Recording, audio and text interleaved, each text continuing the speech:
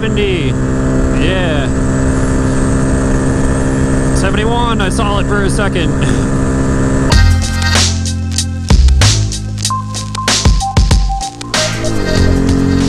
What's going on, everyone? Back with another episode of Stuff and Things, and today we have added some new performance mods to the 2022 Honda Grom. A few weeks back, a company known as DH Motoring reached out to me, and if you guys are in the Grom world, then there's a really good chance that you heard of them.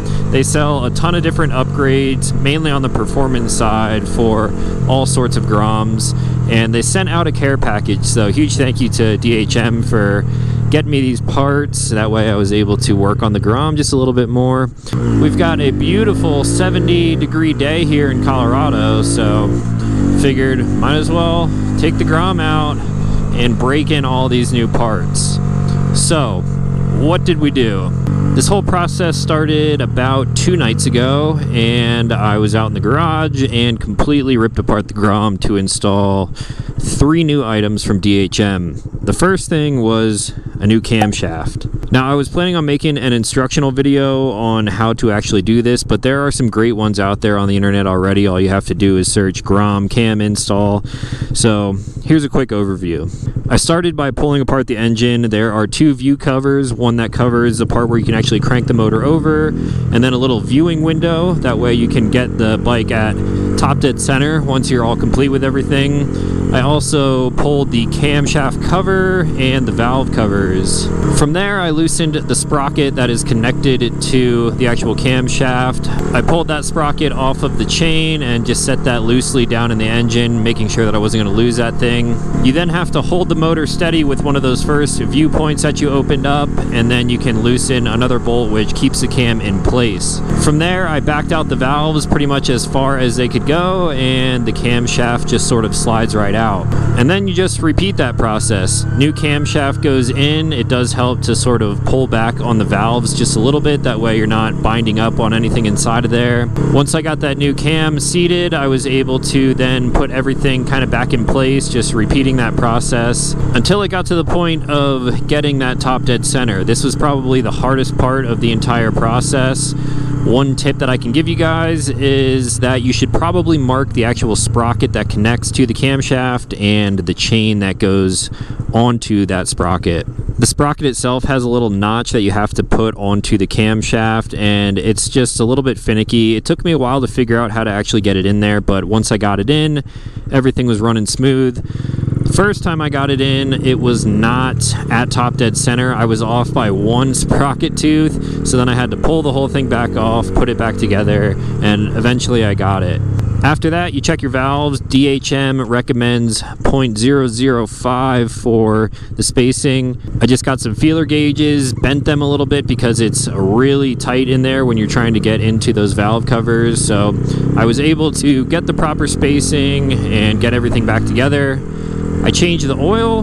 I also ripped out the stock airbox on the Grom and threw on the Chimera intake, which I'll give you guys a close-up of here in a little bit. And then DHM also sent out a brand new ECU, which takes into account all of the performance changes of the Grom. So as of right now, I have the Zoom exhaust, the Chimera intake, and of course now the DHM camshaft. Even if you're not super experienced at wrenching on motorcycles, I would say that it was probably like easy to medium difficulty. There is a little bit of finicky parts there when you're adjusting the valves.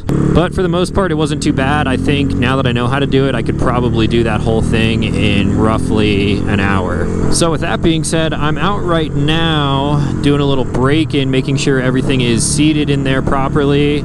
The bike already sounds way different. Combination of probably the cam and the intake, which is down here on my right hand side. I may have to go back and watch some of my older Grom videos to see what it sounded like when it was more stock, but it definitely sounds a lot different from my perspective anyway. Not sure if it translates onto camera.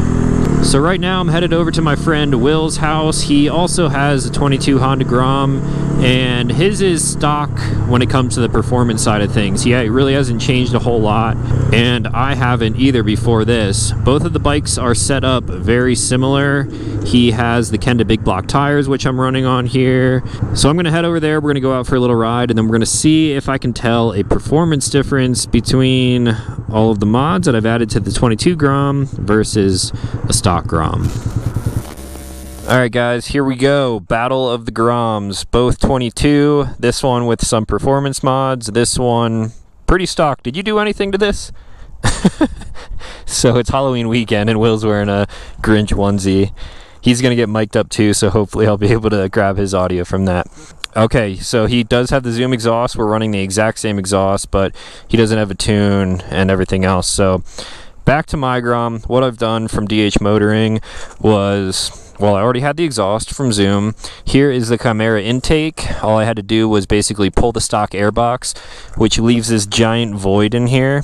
It's not like a ton of weight saving because the stock airbox is pretty light, but opens all this up and then you just get a little tube and then I pulled the little sensor from the stock airbox, threw it on here, K&N filter on there. If I come around to the other side, there is a little tube you're not even going to be able to see it on camera, but whatever. Chimera intake, you guys get it. These are the viewing points that I just showed you the cam cover, the valve covers. I had all that stuff ripped off. Threw the new cam in there, got the timing set through the timing hole right here, adjusted the valves, and then right behind this cover is where you find the ECU. DH Motoring sent out an ECU fit for the exhaust, the cam, the intake, and I'm running 91 pump gas. You running 91 pump gas? Yup. All right, so without further ado, we're going to go out for a little bit of a ride and see how these things compare to each other. That'll do. Was that gay enough? I think so. All right, here we go. Actually, let's do an idle comparison. So you're just idling right now. Find neutral on a Grom. It's like winning the lottery. So they sound very similar.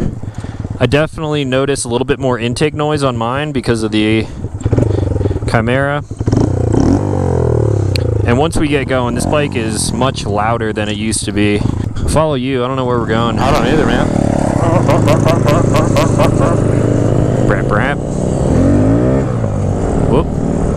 These kind of big blocks are awesome, though. I was skeptical at first, but they're pretty freaking sweet. Yeah takes some getting used to on the road for sure, but Groms are better off-road anyway. Agreed. Turn around, don't even look at us. Don't worry about it. We're just tiny, tiny little Groms. Nothing to see here.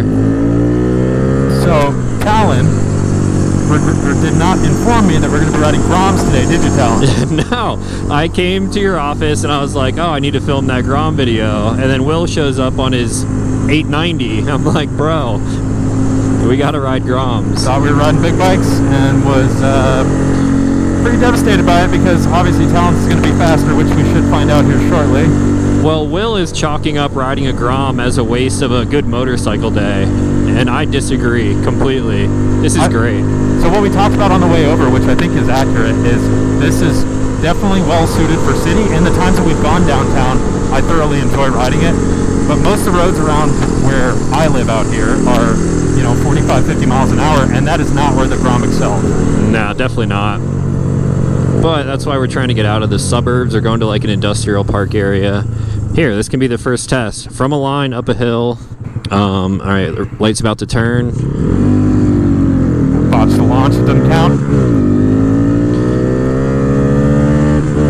Oh, this is so fun, dude. I'm so happy I'm not on a Duke 890. See, it, it doesn't feel fast because it's a Grom, but I guess it is quite a bit faster. I bought to launch, we'll have to do that again, but I, I it definitely is faster. Okay. So with this new cam install, that's the main thing that's giving me the performance, along with the ECU. But it should be giving me better top end, which I already noticed. The bike revs higher. I find myself riding it, revving it a little bit higher, and again, it's still brand new, so once it kind of settles in a little bit more, I think it's going to be feeling pretty solid. Right when I started it up, after I had everything ripped apart, it did take a little bit uh, sputtering and whatnot until it kind of adjusted to all the new parts, but the ECU picked it up after about maybe 10 15 miles, and now it's feeling pretty good. Yeah, when I rode that for your Sur-Ron video, I think it's a night and day difference. How many miles do you have on that? 663. Okay, so we're about the same. I've got 760. Yeah. That's another thing to note. So Will has his Grom was originally yellow, mine was originally black.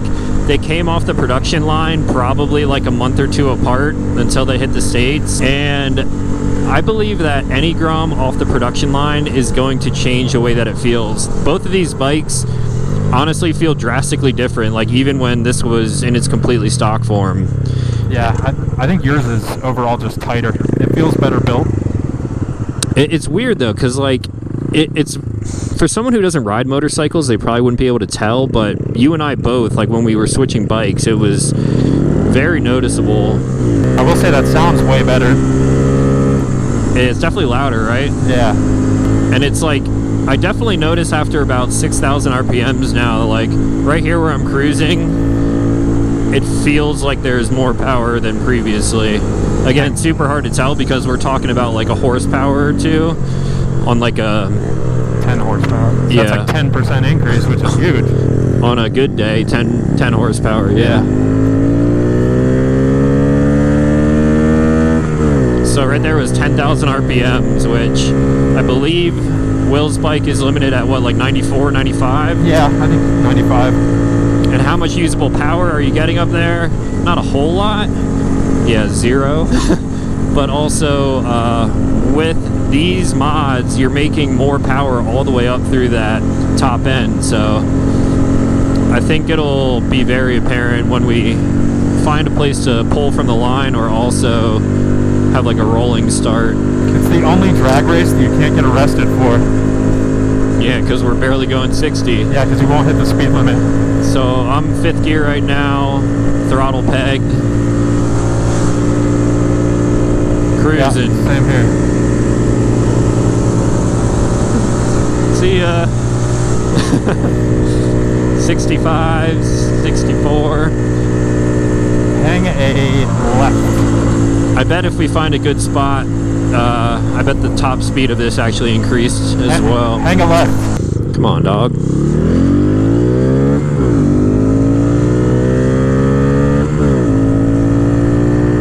Might be able to stop right here Let's yeah, let's go up that too. if there's no one behind. Oh, you mean on the dirt? Yeah, Yeah. we do that.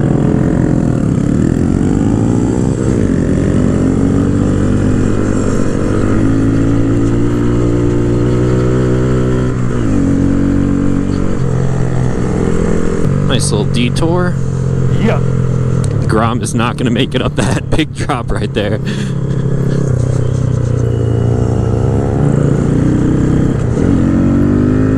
No love. He waved. Oh, did he? Yeah. No love for me, I should say. He was probably confused. He's like, what is that dude wearing? Grinch This suit. Alpinestars, believe it or not, dude. Alpinestar Grinch suit. It's Yeah. nice. Wear that to a track day. Yeah. This ain't very far, but we'll see. This will be just off the line. All right, you want to call it? Uh, it's so bogged down. There, I hit the rev limiter.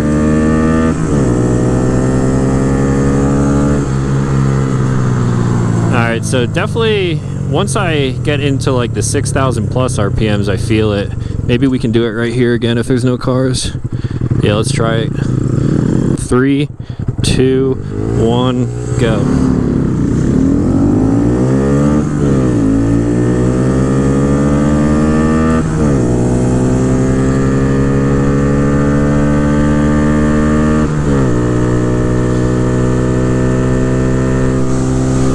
Okay, yeah.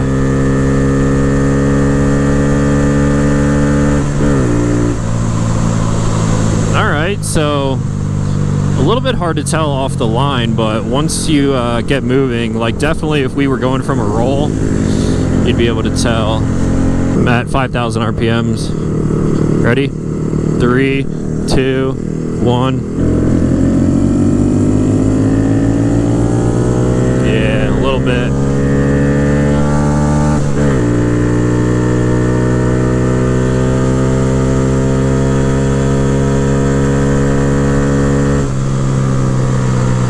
So there's definitely a difference, but that's why I wanted Will to come out with his bike because, again, when you're adding like a horsepower, maybe two, I don't know how much it actually is, you're not going to notice that much of a difference on such a small bike as opposed to like we upgrade our big bikes and then you really notice a difference. You get a tune on a liter bike and you're doing 190 to the wheel and you're just like instantly noticeable. I love being able to rev it out so high now. I mean, it's loud. Might have to wear earplugs, but I'm glad I didn't go with a louder exhaust like I originally was planning because this thing would just be screaming everywhere.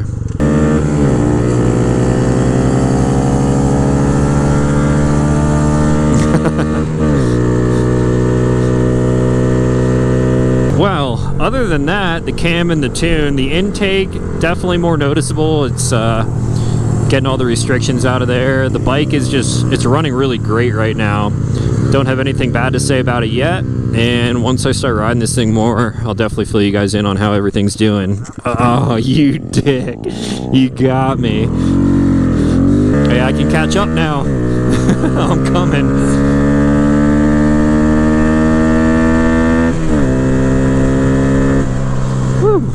So that's it for the real world testing. Like this definitely adds more power, but Will's probably gonna now 300 swap his Grom or something crazy. I mean, you got all winter to do it, so if we go on a Sunday scoot ride on the Groms and you pull that thing out in the spring and it has a 300 in it, I'm gonna have to reassess my Grom build at that point. So before I wrap this video up, again, huge thank you to DHM for getting me these parts and letting me test them out. I'll leave a link for them in the description down below. I do want to do one top speed run quick, so we're going to try to find a place to do that, and then we'll call it good. All right, we got another burner off the line here. Whenever the light turns green, I can't even see these lights.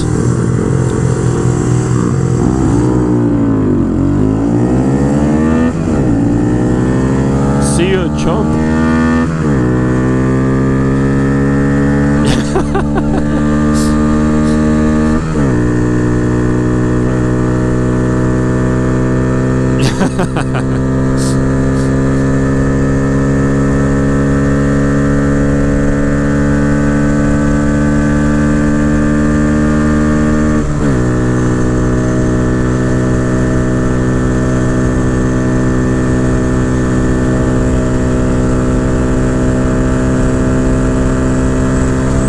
Seventy, yeah. 71, I saw it for a second. Hopefully there's no cops. Woo.